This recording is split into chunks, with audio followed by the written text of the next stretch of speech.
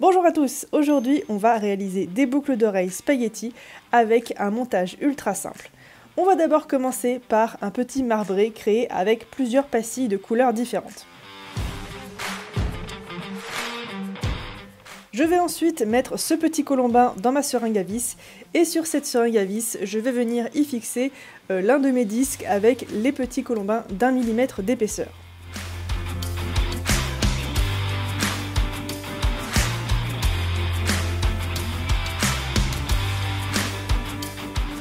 Fois que j'ai créé ces longs spaghettis, on va ensuite venir créer notre base et pour ça je vais utiliser les emporte-pièces palmiers que vous pouvez retrouver sur la boutique.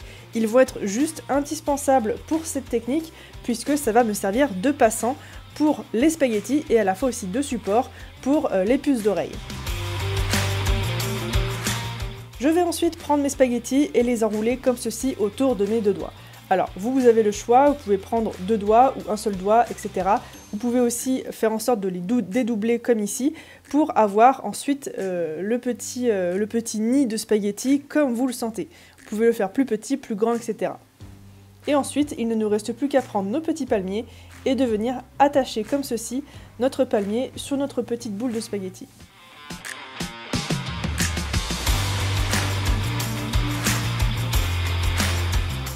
On va juste faire attention à ce que notre support de boucle d'oreille soit mis bien à plat sur notre support de cuisson pour qu'on puisse ensuite y mettre correctement nos supports de boucle d'oreille. Ici, avec euh, les petits euh, embouts de 1 mm d'épaisseur pour les spaghettis, je trouvais ça vraiment très grossier. Donc à vous de voir si vous préférez pas quelque chose de plus fin.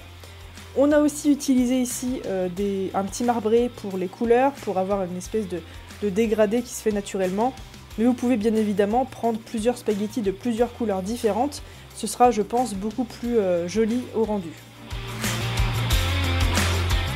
Et comme au final je trouvais vraiment ça beaucoup trop gros et beaucoup trop mastoc, j'ai décidé de laisser ça de côté et de recommencer mais avec d'autres couleurs. Et vous verrez que j'utilise exactement la même technique, sauf que cette fois-ci je vais prendre une pâte translucide de chez Cernit, je vais y ajouter pas mal de feuilles d'argent et je vais venir mélanger tout ça. Vous pouvez aussi y ajouter, comme je vais le faire pour un autre petit pâton, d'un petit peu d'encre alcool pour avoir un petit peu de couleur.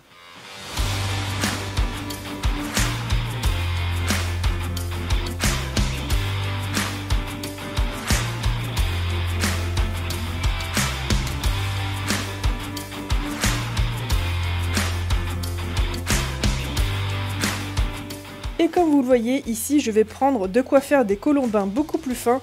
On est sur environ un demi millimètre et je trouve que ça suffit largement. On va ensuite faire nos petits spaghettis.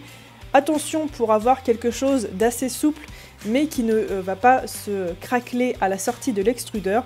On fait attention de prendre des pâtes polymères bien souples et bien hydratées. Si votre pâte polymère se craquelle à la sortie de l'extrudeur, peu importe euh, la forme que vous avez choisi d'extruder, on va euh, venir y ajouter un petit peu de polymère liquide ou de Magic Mix, ça marche vraiment très très bien.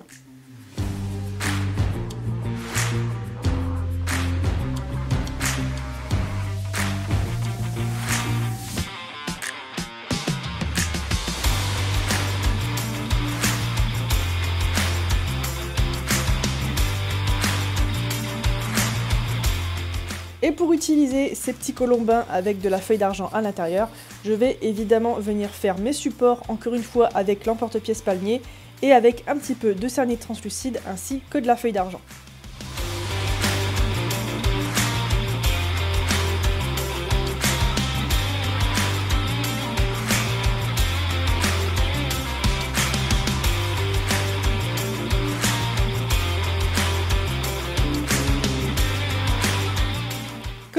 Ici, c'est une technique très très très simple.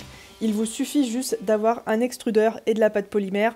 Les emporte-pièces palmiers ne sont même pas obligatoires puisque vous pouvez trouver des tas d'autres formes pour euh, y mettre vos supports. Après, je vous conseille quand même d'avoir quelque chose de pas trop épais pour que ça aille correctement sur vos oreilles. On peut bien évidemment varier les couleurs et les formes. Vous pouvez aussi prendre un petit emporte-pièce euh, en métal pour passer au four avec, pour euh, mettre votre petit colombin tout autour et pouvoir ainsi avoir une forme bien définie. Ici, je fais des espèces de nids. Euh, je pense que c'est tout aussi joli qu'une forme bien définie.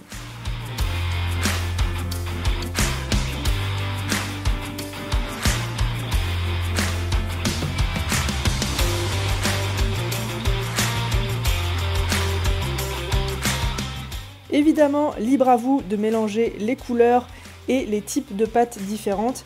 Ici, je mélange un petit peu de pâte polymère jaune avec de la pâte translucide avec de la feuille d'argent à l'intérieur et vous verrez qu'au final, ça rend vraiment super bien.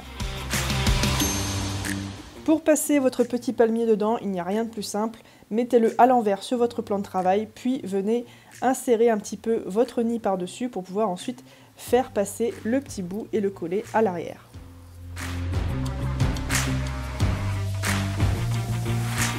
Et lorsque tout ça est fait, on va pouvoir passer à la première cuisson. Attention d'avoir vos supports bien collés à votre plaque et bien à plat pour pouvoir ensuite venir y coller correctement nos petits supports de puce. Pour les supports de puce, j'ai décidé d'utiliser tout simplement de la sculpée liquide en guise de colle. J'en mets donc un point à l'arrière de chacune de mes boucles et je vais venir y coller mes petites puces d'oreilles.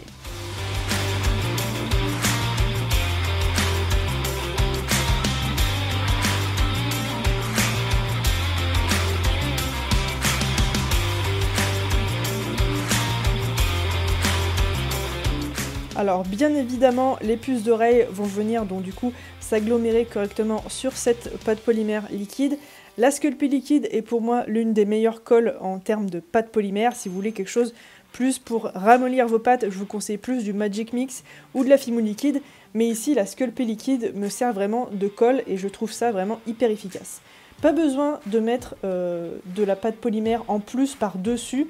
Euh, puisque vous allez voir qu'en fait au four, cette polymère liquide va un petit peu se liquéfier et venir tout simplement euh, s'agglomérer euh, naturellement sur les bords. On passe au four une dernière fois pour cuire cette pâte polymère et ensuite on va passer au résinage. Ici c'est totalement optionnel, vous n'êtes pas du tout obligé mais j'avais vraiment envie de voir ce que ça pouvait donner. Je vais donc mettre un petit peu de résine UV dans un petit contenant, ici c'est les petits contenants en silicone qu'on peut trouver sur AliExpress et je vais venir comme ça avec un pinceau en silicone en euh, badigeonner un petit peu partout. Alors on fait attention à bien enlever le surplus en laissant un petit peu couler et ensuite on n'a plus qu'à passer sous la machine UV assez rapidement pour pas que ça nous coule sur le plan de travail. Si vous avez du vernis en bombe, il est temps de l'utiliser, mais en tout cas le vernis liquide aura peut-être un petit peu de mal puisque du coup il va couler avant de sécher.